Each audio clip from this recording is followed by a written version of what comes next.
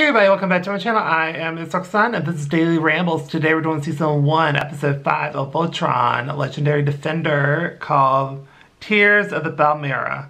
So we start off with Sendak knows what's happening because they hacked into the system and can hear Pidge and Allura talking and that gets away Pidge's position.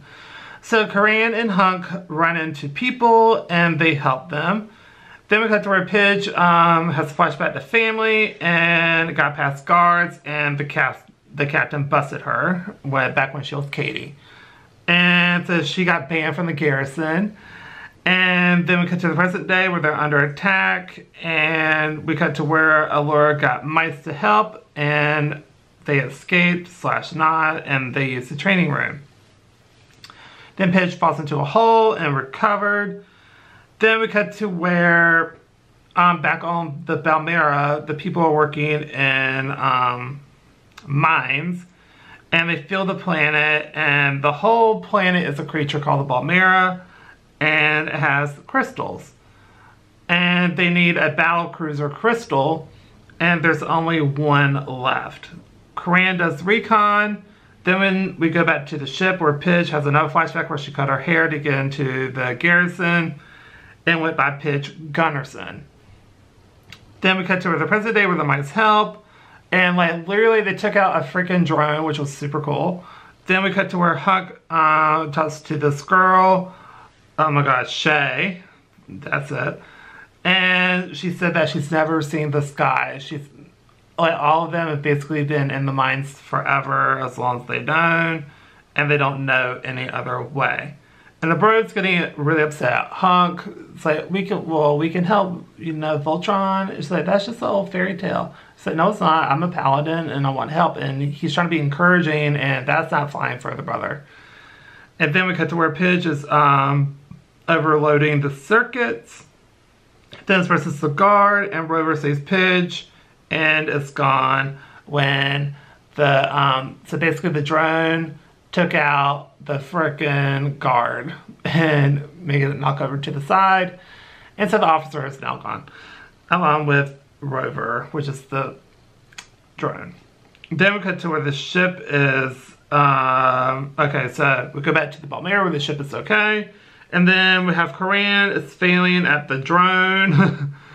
um, failing trying to be a drone and being like on oh, like they took like a couple of spare parts and try to mimic one and that just didn't work out. They managed to load the crystal into the pod and so um but hang on about to sneeze.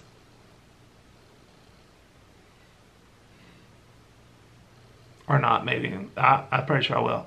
Anyway, so basically, Coran did a ritual to get the crystal without hurting the Balmera. And they same way they laid on the pod, but the bro busted them and said Balmera managed to save them though because of uh, Shay, and but Shay got captured, and but they managed to leave because they really need to get the uh, crystal back to the ship, and so um, they can come back.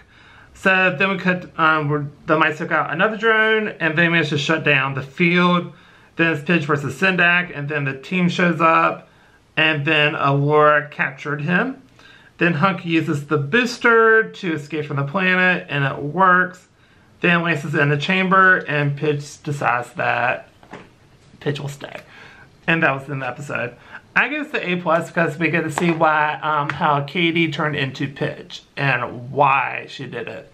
So basically, when her dad and brother went missing, she literally hacked into the Gunderson's captain's no, what is it? I literally just said it in this damn episode.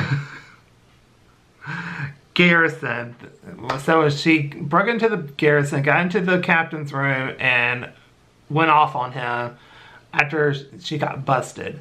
So in order for her to get into the garrison, she went by Pidge Gunderson, which is even close to her name. And so um, that's how she got in. And she posed to be a boy and she was very standoffish toward everyone because she had her own mission where she wanted to find her dad and her brother, which I totally get. But I thought it was a really good backstory, and we figure out why she did what she did. And um, I really, really liked this episode. I gave it an A plus. I really enjoyed it.